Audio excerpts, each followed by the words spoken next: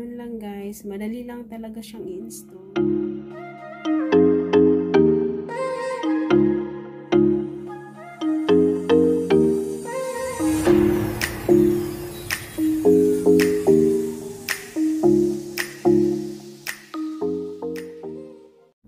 Hello guys, welcome to our channel. Mali, bumili po ako ng magnetic safety lock sa Amazon kasi si Payson marunong nang magbukas ng cabinet. So, ang ano niya, ang laman niya nito ay 12. Ito yung mga hitsura niya. Yan, easy to install lang. Pwede mo siyang ano, i-YouTube kung paano install. So, una muna, pupunasan muna siya ng alcohol. Kung saan mo siya ikakabit. And then, ito yung gagamitin mo. Ilalagay mo siya dito.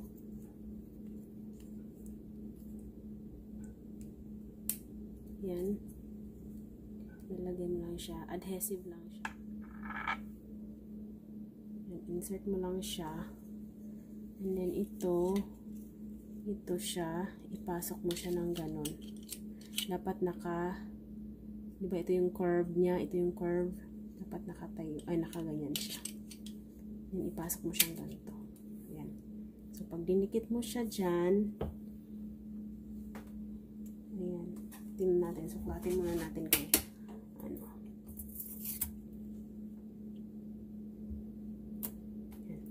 Huwag mo muna masyadong idiin kasi pag halimbawa gusto nyong i-adjust pa, pwede nyo pang i-adjust kasi pag masyadong ano nyo na, pag dinikot nyo na masyado, mahirap na siyang tanggalin. So, ayan. So, pag tatanggal yan siya, ayan. Nandito na siya. Ayan, dumikit. So, tatanggalin natin to guys. Ayan. Ito na yun siya. Ayan. So, yun dapat para ayan. Dapat pala yun, ayun, ano siya ng black. Ayan. Dapat pala i-baba to siyang itong pinaka ano niya um, itong pinaka what do you call this? O itong naka, naka ano dito naka-usli dapat pala nakababa siya. So pag sinara na siya ganyan.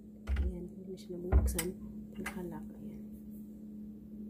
So okay na siya. Idiin ko na kay kasi para ano hindi matanggal so ayan guys um, ganyan, ganyan lang siya mag-install. Ayan oh, guma gumagana siya. Ito yung pinaka key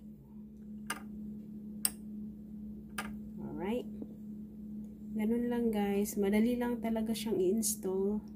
Kung so kung ano kung ayaw nyo ng yung padlock na yung pang child lock na dito nilalagay para hindi makita ito na lang ang anuhin nyo. Ito na lang ang bilhin nyo.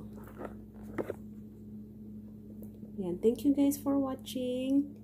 See you in our next video. Bye bye